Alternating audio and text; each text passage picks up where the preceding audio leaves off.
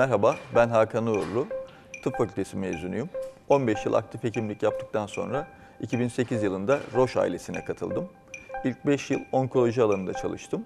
Son 1,5 yıldır da e, organ nakli, böbrek yetmezliğine bağlı renal anemi ve genetik bir hastalık olan kistik fibrozis ile ilgili ürünlerimizden sorumlu medikal müdür olarak çalışıyorum. Öncelikle bir medikal müdür olarak tıp fakültesi mezunu olmanız gerekiyor. İlaç sanayinde medikal müdür arkadaşlarımız e, doktor olan, hekim olan, tıp eğitimi almış olan kişilerden seçiliyor.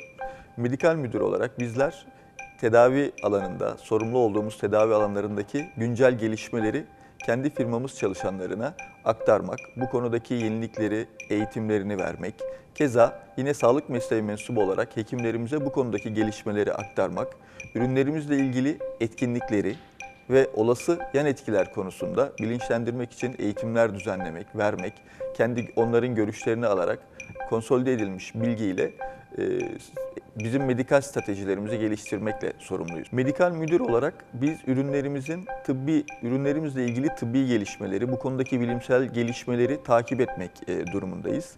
Doğal olarak e, bu konudaki ulusal, uluslararası kongrelere katılmamız gerekiyor. E, bir iş günü içerisinde bu kongrelere katılmış ol, olabilirsiniz. E, Keza eğer bir kongre katılımında değilseniz yine ürünlerinizle ilgili gelişmeleri takip etmek için literatürü takip ediyor ve e, bol bol okuyor bulabilirsiniz kendinizi. Yine ürünlerimizle ilgili hekimlerimizden saha çalışanlarımıza gelen soruları karşılamak için bunlara yönelik cevapları, yanıtları oluşturuyoruz ve elbette e, kanıta dayalı tıp anlamında bu cevapların kanıtı olan literatürleri de hekimlerimize iletiyor oluyoruz. Sonraki stratejilerimizin belirlenmesi anlamında mevcut yayınlardan hangilerinin e, elverişli olup olmadığı konusundaki çalışmalarımızı olgunlaştırıyoruz. Bir e, iş günü içerisinde e, oldukça iletişime açık, dinamik ve e, sürekli yeniliklerin olabileceği bir gündemi takip ediyor oluyoruz. Öncelikle tüm arkadaşlara sevdikleri işi yapmalarını tavsiye ediyorum.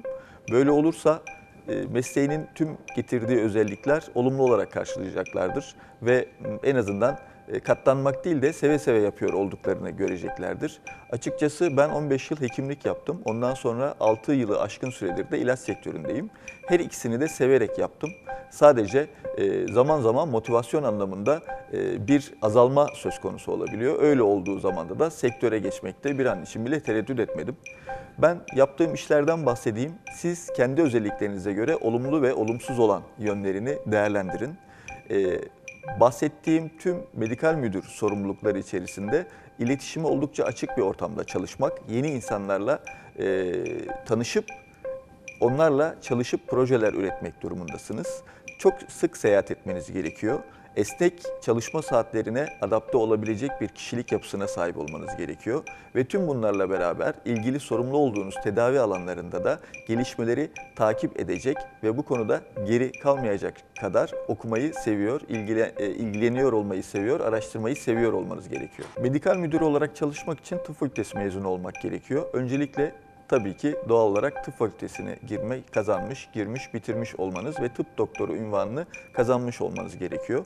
Çok spesifik bir ürün ve tedavi alanı ile ilgili çalışacak iseniz elbette o alanda uzmanlığa sahip olmanız bir e, ek e, avantaj olacaktır. Ancak şunu da hatırlatmam gerekir ki medikal müdür olarak uzmanlık sahibi olduğunuz alanın dışındaki bir üründen de sorumlu olabilirsiniz zaman içerisinde ki bu sık sık da medikal müdür olarak yaşadığımız bir e, durum. O yüzden tıp fakültesi mezunu olmak yeterli. Ek bazı destekleyici eğitimleri almak ise önerilir. Nedir bunlar? E, kişisel iletişim becerilerini arttırabileceğiniz eğitimlere, kurslara, seminerlere katılmış olmanız, e, İngilizce seviyenizi yukarılara taşıyacak e, şekilde bu konudaki eğitiminizi e, desteklemiş olmanız, tamamlamanızı tavsiye ederim. Tıp fakültesi mezunu olmak mutlaka gerekli medikal müdür olarak çalışmak için. Aa, Bunun için ek başka sınavlara girmek e, gerekmiyor. Ancak benim e, bu konuya ilgi duyan, bu pozisyona ilgi duyan arkadaşlara e, tavsiyem tıp fakültesi öğrencisiyken özellikle kliniğe geçtikleri 4. yılla beraber yaz tatilleri ki çok kısa olduğunu biliyorum. Yaz tatillerinde kısa bir süre ayırıp ilaç firmalarında staj yapmaları, bu konuda hiç değilse ilaç sektöründe neler yapabilecekleri konusunda farkındalıklarının artacağına, bu mesleği sevip sevmeyeceklerine onlara göre olup olmayacağına karar vermeleri konusunda e, çok bilgi verici olacağına inanıyorum. Hem ülkemizde hem dünyada bu konudaki çalışma e, alanını sınırlayan yönetmelikler giderek katılaşmakta. E, sınırlamalar artmakta. Bununla ilgili olarak medikal departmanların, ilaç firmalarındaki medikal departmanların önemi ve büyüklüğü giderek artmakta. Bu anlamda söyleyecek olursak yıllar içerisinde medikal departman e, büyüyüp daha etkin bir konuma geldiği gibi önümüzdeki yıllarda da bu büyümesini ve etkinliğini arttıracak. Ben mesleğimi severek yapıyorum. Mesleğimin getirdiği başka arkadaşlara zorluk gibi görünebilecek bazı noktalar da benim için aslında yapmaktan keyif aldığım işler. Ee, Ben seyahat etmeyi seviyorum. Yeni insanlarla e, çalışmayı, tanışmayı, projeler üretmeyi seviyorum. Bir süreci başından e, oluşturup sonuna kadar takip etmeyi ve sonuçlarını görmeyi seviyorum. Keza seyahat etmeyi çok seviyorum demiştim.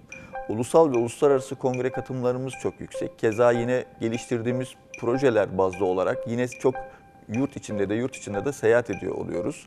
Bu bana yeni yerleri görme ve yeni insanları tanıma fırsatı tanıyor. Bu anlamda ben severek bir iş, severek yapıyorum işimi. Öncelikle tıp eğitimlerini tamamlamaları ancak bu süre içerisinde ek olarak neler yapabiliriz sorusu akla gelebilir. İngilizce bilgilerini üst seviyelere taşımaları gerekiyor. Mutlaka çok iyi derecede İngilizce bilmeleri gerekiyor. Elbette ikinci bir yabancı dilde mutlaka plus ek bir fayda sağlayacaktır. Ancak temel olarak e, uluslararası bilim dili İngilizce. Bu tıp iç alanında da geçerli. Hepinizin bildiği gibi. E, yine iletişim becerilerini arttırmak için bu konudaki kurslara, seminerlere katılabilirler. Ve mutlaka bu konudaki farkındalıklarını arttırmak için mezuniyet öncesi bu sektöre ilgi duyan arkadaşlarımızın ilaç sektöründe firmamız da olabilir. Seve seve kabul ederiz bu konudaki başvuruları. E, Stajlı için başvurmalarında fayda var. Elbette ki biliyorum tıp eğitimi e, tabiri caizse e, diğer her şeyi unuttuğumuz bir eğitim.